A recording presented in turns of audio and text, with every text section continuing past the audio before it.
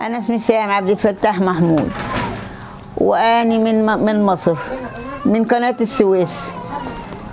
وجيت اتجوزت في الأربعة وسبعين وضليت في سنجار لما القصف جه علينا والحرب جينا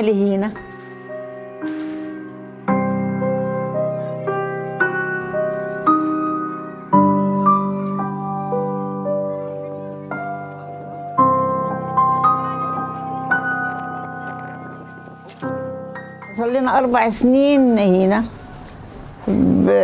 بحلب لبيك صلينا أربع سنين. وأنا عمري 80 سنة وما عندي حد معين وابن الله يساعد. عنده 11 ولد. 11 بنت. حتى أخويا ما- ماتت مرته. وما أعرف عنهم شيء.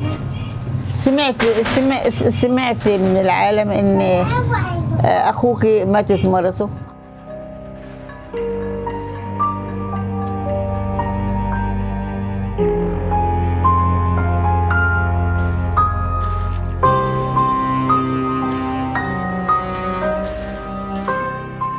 مننا في العيد واحد يمر علينا في العيد. في رمضان كله ما دقنا اللحمة ولا ولا أكلنا شيء.